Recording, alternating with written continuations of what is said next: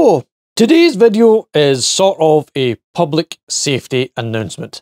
I have noticed now a worrying trend in the incorrect use of connectors uh, for the power supply for the diesel heaters. There are, well, at least now two manufacturers uh, doing it, and I'll come back to that at the end. The problem is they have started to use IEC C13, C14, I can't remember which is male and female, but one or the other. It is a standard kettle lead plug. That is basically, in the UK, you'd have your UK plug at one end and your three pin uh, IEC C13, C14 plug to supply mains voltage to your device. That is 230 volts AC, uh, you know, alive and neutral, and the pin in the middle would be the earth that you would plug into your, you know, main socket, like the main socket up there, into the wall and get, you know, full electrical power. Uh, and that's, and, and they're putting them in diesel heaters for the 12 volt connection. This is, here we have your IEC plug at this end. And then the other end, it's just two wires for connection to your battery. 12 volts at this end and oh, and now to that end. And here we have, as seen in a previous video, a brick power supply with an unfused, where is it this end? An unfused UK plug at this end, and an IEC at this end, and an output of 12 volts and 12 amps. So plug in at the wall to get your mains EC and then output 12 volts over this IEC plug.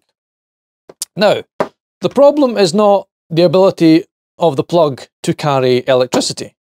I think these are rated up to, it's either, so maybe some of them are, that one's rated to, that one's rated to 10 amps at 250 volts, so what's 10 amps no matter what the voltage. That's rated to 10 amps.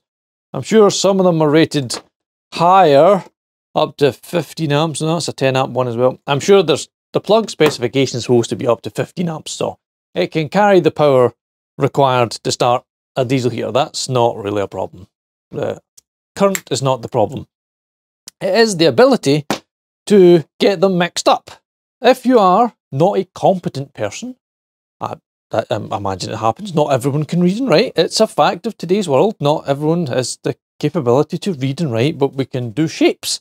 And if you were to see this shape, in the back of your diesel heater and you didn't know any better, you would take this shape and you would perhaps take a plug like this and plug it in and then plug it into the wall and turn it on and at best uh, it pops the fuse in the plug unlikely to happen and you murder the power supply not the power supply the ECU in the heater with a loud bang and a spark perhaps. Worst case is it kind of, well, burns in, you know, actually there's two worst cases. It starts a fire and burns into a horrible mess and sets fire to things. Or it makes the diesel heater live at mains voltage, resulting in possible electrocution and death, depending on where you live in the world. I'm going to now reach over for a power supply. It is, doesn't matter which power supply I'm going to get. It's just the one that happens to be nearest the bench. It's more for illustrative purposes than anything else. Uh, what is it anyway? It's an EcoFlow River 2. So see we have here the IEC plug for mains voltage charging. And here we have one of the uh, the X, is it XT or XT? I'm sure it's XT. XT connectors, that's an XT60, designed for the carriage of low voltage and lots and lots and lots of current. Hence they supply it with it is an XT60 is the size. This is a, uh, an extension cable for, I think it's for joining solar panels, or Y cable for solar panels. But anyway, again, low voltage up to like, well, probably 48 volts in the case of things. But anyway, 12 volts, that would be XT60. That would do your 12 volts. I did have, did I bring the, there you go. Yeah, 12 volt cigarette lighter plug and an XT60 plug on the end of that, again for low voltage. You cannot get the two mixed up. You can't plug the low voltage side into the mains and you can't plug the mains into the low voltage side. but you can if you're the diesel heater manufacturers now. You can, because there's the thing. They also make diesel heaters out there that will take a mains supply in the back of them, and inside the diesel heater is a power supply that takes it down to 12 volts or 24 volts.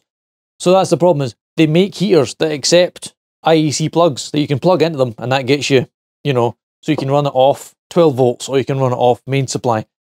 But now they're making only 12 volt heaters that have the same plug on the back of them and, and, and thus ensues confusion and possible danger. So this is my public safety warning to anyone out there to be very, very careful about plugging in an IEC plug into the back of a heater if you don't specifically know it's designed to run at mains voltage. And by that, I mean, if, if you have to, open it up and make sure inside that it's either going to a power supply, uh, I don't have one to illustrate, you know, a little, um, like an LED driver power supply, as in mains comes in and 12 volts comes back out.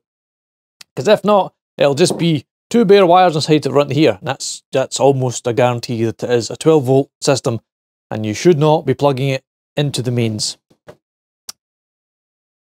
So I'm not going to name names of companies in this video that are doing it because at least one of them so far that I've emailed, emailed has come back and said, all right, we're sorry, we didn't realize that we shouldn't really be doing this. We're going to contact folk that have bought the heaters and we're going to put extra warning labels on the ones we've got and we want to try and fix the problem that we've created. So until I'm going to give them enough time to do that before I name names and release videos, etc. Because hopefully they'll send a new modified version of their heater with their changed plugs and then we'll show the comparison and show that they've actually done the thing they were going to do and make the change. And if they don't make the change, then we shall name and shame them and that'll be that and that'll, that'll be that. I'll just name and shame them and show you what they've done.